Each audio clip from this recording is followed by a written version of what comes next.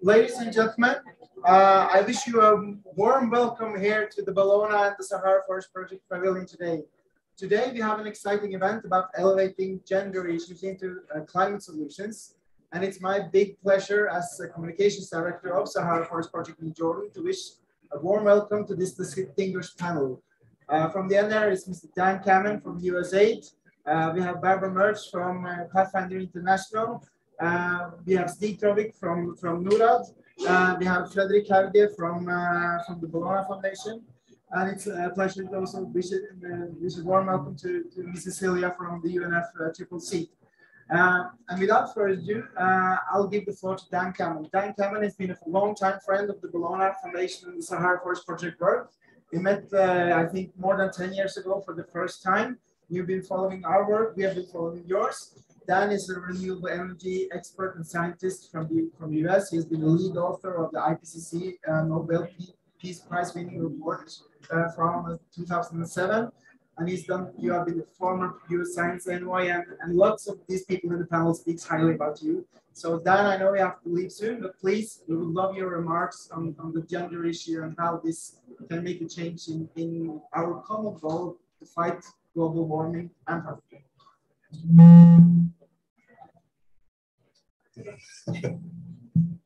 Smells like a rock concert.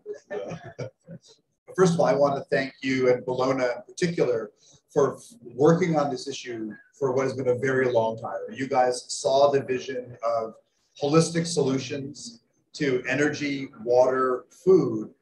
And in the early days, we didn't talk enough about the gender diversity, equity aspects of, of this issue. And I think that for a whole variety of reasons, from the SDG 7 goals to the Me Too movements to the recognition that we're not going to solve climate without addressing social, racial, and gender inequality, and we're not going to solve those issues without solving climate. So I think that there's a much more integrated view. Um, at the US Pavilion, you've seen the announcements recently around methane and around smart agriculture. And these are really part and parcel to what you guys have had a vision, I would say, before anybody, and willing to, you know, make this saying holistic is easy, doing holistic is a pain in the somewhere. Um, and I think that's really the story because we know that just green energy is already a big lift, but green energy without solutions that provide better economic opportunities, and in particular to those who are at the environmental, economic, racial, gender fringes. And those people are hit hardest by climate change. They're already being hit hard. The IPCC report finally got around to saying that clearly in our fourth assessment report. That was the last one I was on. But I think that the more examples that are concrete like this, the Jordan project to me is fascinating. When I was science envoy in um, the Obama administration, we were so excited to see the project plans coming forward and to see the investment. And it's one of the things that Israel and Jordan got really excited about doing together because they each saw this was a win. If this COP is going to be about financing, not just promissory notes, but actual dollars, yens, RMBs, shillings, ever, whatever it is in the bank, we're going to both need projects where that money can move immediately, but also groups that are willing to be the guinea pigs for how do you track it. And if there's going to be gender metrics, if there's going to be metrics on new crops, if there's going to be metrics on ecological impact, this is the kind of project that can do it. And I would like to see efforts like this literally everywhere in energy rich but people poor areas in the sense that there's obviously lots of uh, energy that needs to be harvested.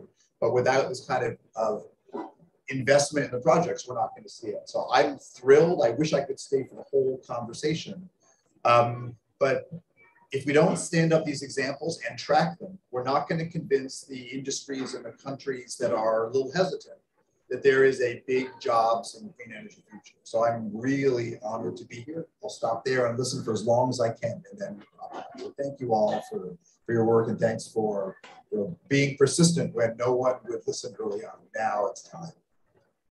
Thank you very much, uh, Dan. Thanks for coming. Uh, we have a great partner here at the, the Pavilion today, Pathfinder International. It's been a pleasure to, to work together on, on this great program. Barbara, you're the managing director. But before I give the word to you, I just want to quote Kofi Annan about Pathfinder. Pathfinder International is a remarkably successful organization. Its model of funding and working through local partners helps ensure the sustainability of programs. Despite all barriers, Pathfinder finds way to serve marginalized populations, including the poorest. Here, are, here is the managing director of this great organization, Barbara Mercer. Floor is yours. Thank you, Magnus. Such a pleasure to be here today. And really a pleasure to talk about elevating the issue of gender in climate solutions. Building on what Dan just said, I think it would be impossible to get to a climate solution while forgetting half of humanity. So at Pathfinder, we have started our work in really building from the roots where we work in some of the most marginalized places around the world, throughout Africa, in the Sahel and Francophone West Africa, up in South Asia with Pakistan, Bangladesh. And to your point, we're doing actual work on the ground by partnering very deeply with the people who know the context the best. Our country-led leadership is extraordinary. And I feel very grateful to be part of an organization that's not only women led, but also country led in understanding local solutions. And another piece of this in our women led is that we strongly believe that the most vulnerable populations cannot begin to assess agency without basic access to contraception and education. So that's plank number one. Really have to have solid foundations. And for the funding that's available, actually, getting that to happen is the mission we need to absolutely commit to as part of a holistic solution. Second, we also want to make sure that we're getting together with voices. That means partnering across silos. And that is exciting because that will then allow us to uplift and hold the empowerment in the process of women's voices. It's a pleasure to partner with Cecilia on the Gender Equity Forum. We're a signatory and to the work that you're doing. I'd love to hand it for a moment over to you because I'm so proud of the work you're doing. And you've also shared some great stories with your great lobbying on the side here during COP26 that I'd love to have you share. Cecilia. Thanks. Uh, in my current position, I just want to tell you a little bit about my background. I grew up in the informal settlements of Nairobi and I got my opportunity to break through into the movement and into the development work by working side by side with the Nobel, with the Nobel Peace Prize winner, Professor Wangari Maathai.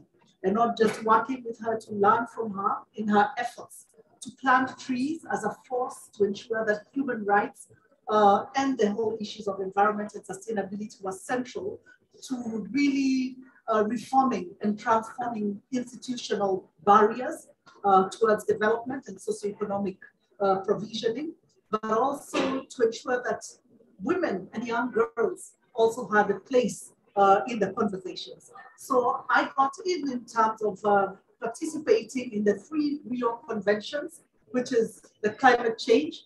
This is going back to more than 30 years now when the, the Rio conference was held, desertification and biodiversity.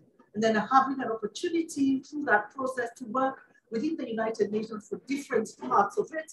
And two months ago, uh, being able to get a position of the Director of Intergovernmental Support within the UNFCCC. But I just want to translate that journey for me. And that journey for me is a demonstration of how starting from the corridors and wondering, why are we dealing with issues separately? Biodiversity and nature, where I grew up in the informal settlements and my passion to study urban planning was because I could see how our mothers and the community were not having access to potable water, to clean water. The shelter, the structures were, were broken down, and there was ex exclusivity in terms of how services were being provisioned, and seeing how women on a daily basis would go to nearby forests to collect firewood to come back. Today, 30 years after that, I'm still hearing the conversations about the need to provision uh, nat uh, natural resources, whether it's affordable energy, whether it's clean water, whether it's affordable health uh, to, to people. And now we are faced by double challenges, not only of climate change, but the COVID the challenge. And for me, that becomes a very central thing to understand that in order to place gender issues or women issues at the center, it requires structural transformation. So when I joined the UNFCCC, the first thing I wanted to understand is how are we addressing women? How are we addressing gender issues? How are we ensuring that the action plans emerge out of these processes truly and fundamentally contribute to real transformation?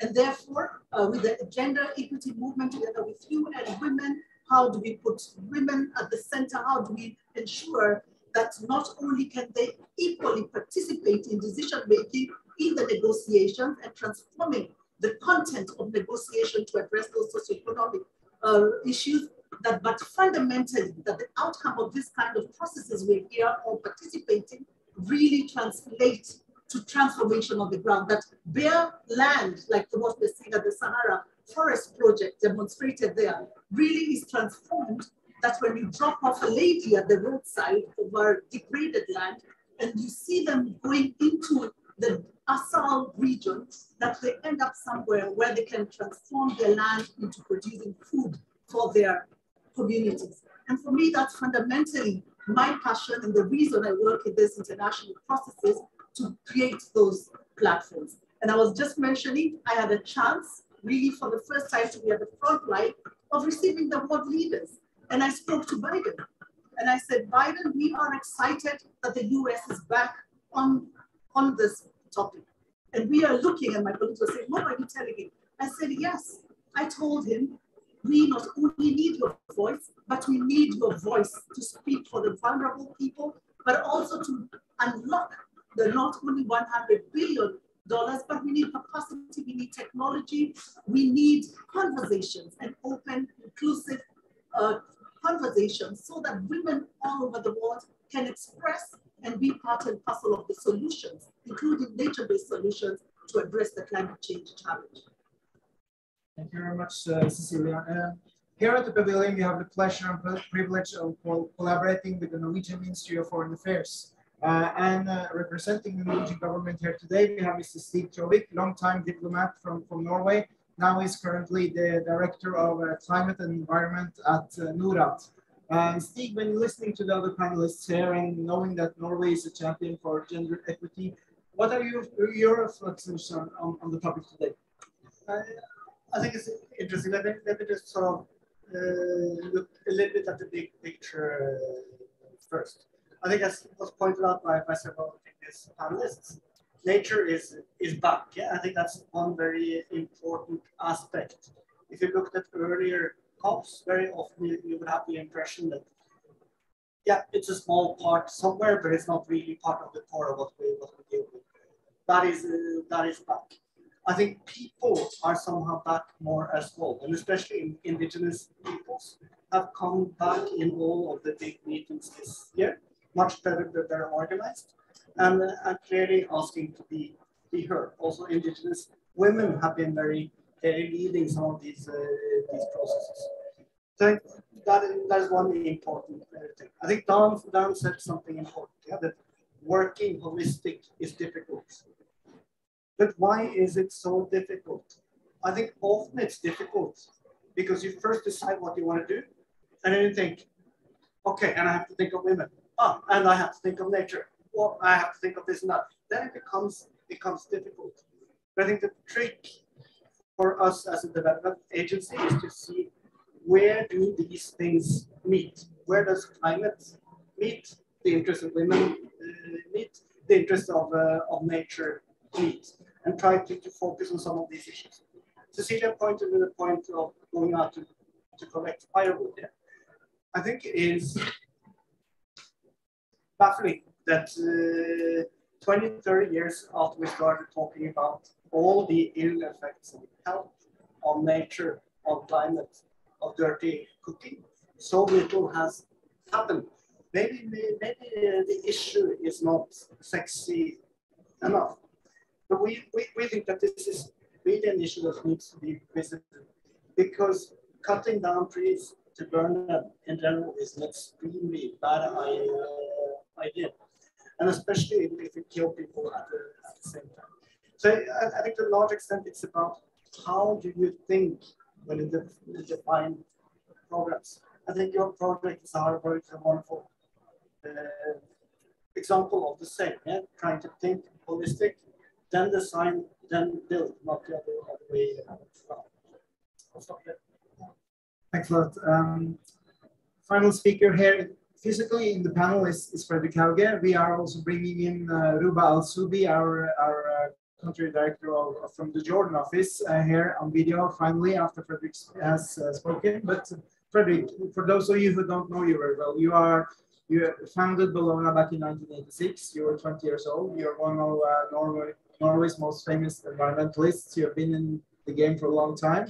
You went to Rio in, in 1992 uh, and now you're here. Um, can you please uh, elaborate a bit, Frederick, uh, on your journey as an environmentalist? How do you see uh, the gender issue in uh, this when it comes to actually uh, both the, the challenges of, of, climate change, but also when it comes to the solutions? Thank you, Magnus. Um, first of all, it's a privilege to have Pathfinder here. We have been working with uh, Lois Quam for many, many years. Uh, she's not there, but you are here. And also, you mentioned Wangari Maathai, and we had her at her conference in 2008 in Norway. It was very inspiring. And I remember when she came in Copenhagen, I was sitting together with her. I think she maybe had birthday that evening. And, okay, then we have to fix it. So what we see and we see that in our work in Russia, we see it in Middle East, in Africa, everywhere. It's the women who is mostly affected about the environmental consequences. They are the people who are standing above the cook stove and get cancer. They are the people that have to travel longer when the freshwater well becomes salty.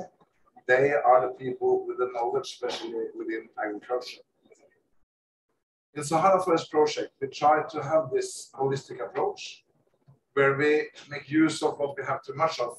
That's CO2, sand and desert, and seawater to produce what we need more of, which is fresh uh, uh, salt water, I said, uh, but we need fresh water and we produce that. We produce food, we produce biomass, and we do rehabilitation.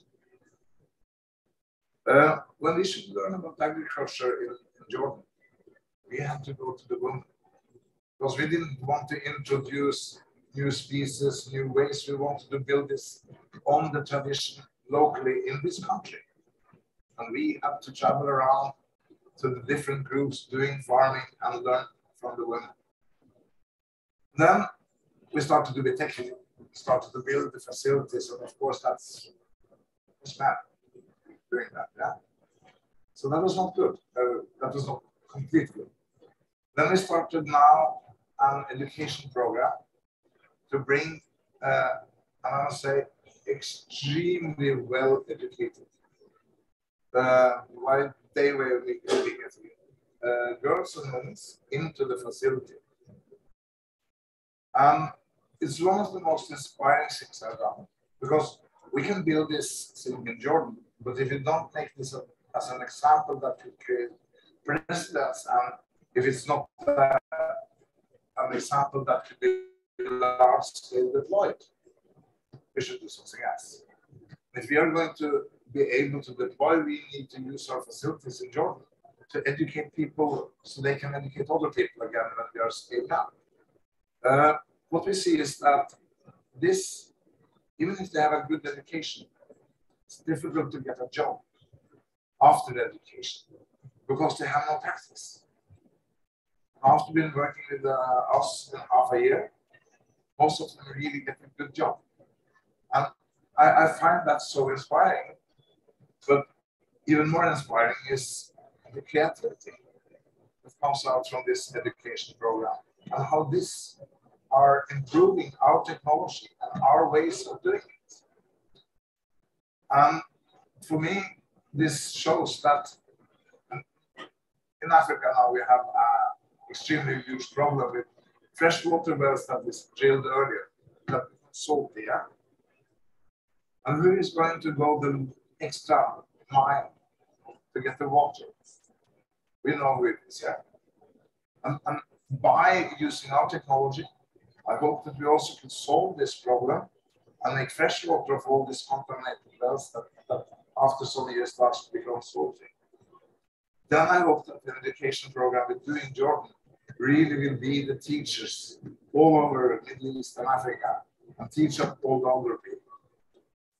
And I'd say uh, to do this is the only way to solve the problem because we get an absolutely different commitment and much more new ideas than we, we work with, with men in the facility.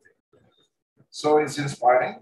It's a to talk about what we see with environmental consequences on women in, in Russia and all other places also. But Sahara Forest project is is a project where seeing is believing.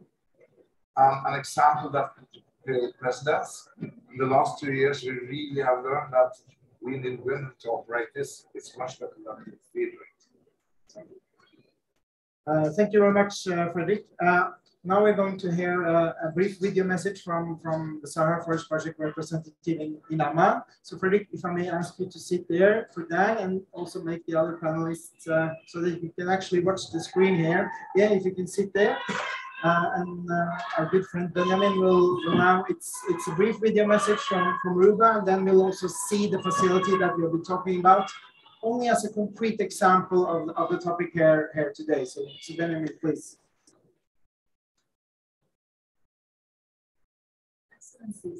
Distinguished speakers, and dear global citizens. Assalamu alaikum wa rahmatullahi wa barakatuh. Sending you green and warm regards from the Hashemite Kingdom of Jordan. Jordan is far from being a contributor to greenhouse gas emissions. Yet, it's losing its natural and fixed assets owing to climate change. Climate change is and will affect us in the most vulnerable places. In my home country, we have the highest engineers per capita in the world. We have an engineer for every 40 people, of which over 26% are females. In Jordan, females enrolled in universities are far more than men. Despite these numbers, female participation in the labor market is still below 15%. In 2021, unemployment rates in Jordan reached 25%. Female share of that was 33%. Despite all of this, women are transformers and change makers. They challenge themselves before challenging their external uh, limitations. I'm proud to be one of many Jordanian female engineers who are driven by passion, global citizenship, and local responsibility and want to make an impact. Allow me to, to share briefly a concrete example that I'm proudly involved in. The upskilling program in agri-tech and food security implemented in partnership between the Sahara Forest Project and Al Hussein Technical University in Jordan. In its initial stage, the program uh, targeted 30 females uh, from all over Jordan with skills that are required by the labor market. Seeing these female graduates embarking into the green tech market, whether as employees or entrepreneurs, forms a real opportunity that we are committed to leverage and anchor with our partner, PHT. Dear global citizens, empowering educated and passionate females to lead climate action demand new and innovative approaches across localities, specializations, and sectors. We need you all to join us in enabling equal and inclusive climate action. Thank you. Shukran.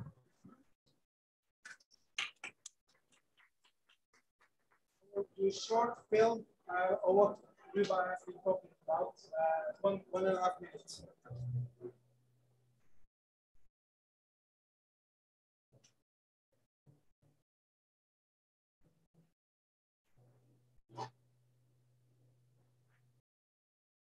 We've just recently had a visit from the HTU University with a number of students from different universities. The ladies have come onto the farm to experience the practical side of farming.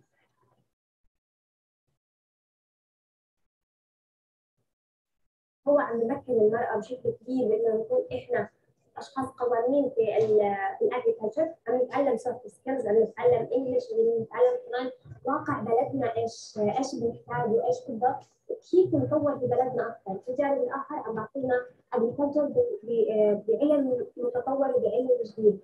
آه فالمختلف في هذا البروجكت هو اللي ميزه هو اللي خلانا إحنا نتميز ونحاول دائما ونكون نظرتنا للأعلى. في بيت كل حدا فينا لازم يكون حدا عنده خبره بثلاث أشياء في الطاقة في الاجريكلتشر وفي التنميه لأنه هذول الثلاث أشياء هم المقومين هلا مع الأزمة الأخيرة صرنا قيمة الاجريكلتشر وصرنا قيمة إنه فعليا بيتنا لازم يكون فيها لازم تكون خضراء يعني لازم يكون عندنا مزروعات في بيتنا. علشان أنفسنا وعلشان صحة بلدنا بشكل كامل. The Sahara Forest Project uses sun, sea, and wind. As energy sources. We use a so. So there, um, this we cut it short here um, due to time. It's it's a longer film. Happy to share if, if anyone wants to see the whole thing. But I really want, on behalf of the Bellona Foundation, on behalf of the Sahara Forest Project Foundation, to thank Pathfinder International for realizing this uh, event here today. I want to thank also the Norwegian government for, for your support in, in our work, both here in Glasgow, but also in Jordan, of course. And thanks, Mrs. Ilya, also for your time. Really appreciate it. And thank you for the audience, both here in Glasgow and following online. Uh, and I wish you a good day forward. Thanks.